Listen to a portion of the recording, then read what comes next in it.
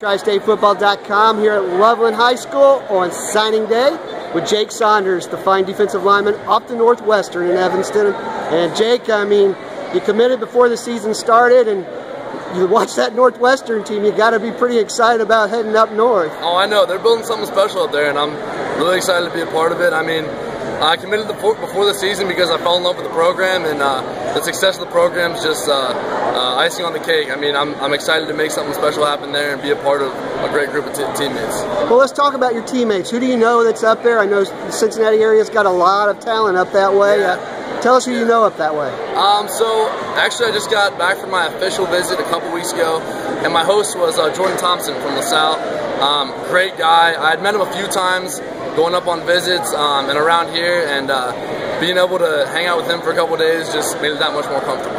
Well, let's uh, talk about what the, the, coaching staff has told you you need to work on in order to play and in the Big Ten.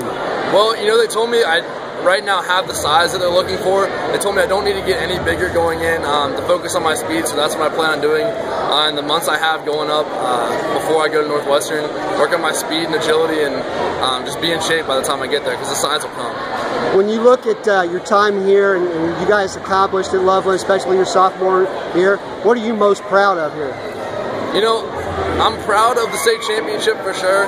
Um, there's nothing like it, but you know, I'm, I'm proud of the group that we have. I'm proud of all the guys. I mean, this is a record signing day for our guys, and it's because of the work we put in together, and the recognition just shows because of all the hard work we put in every offseason.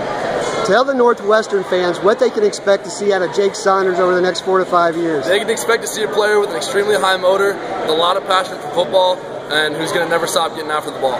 There you go, Jake Saunders, the fine defensive lineman from Loveland High School. He's off to Evanston and Northwestern.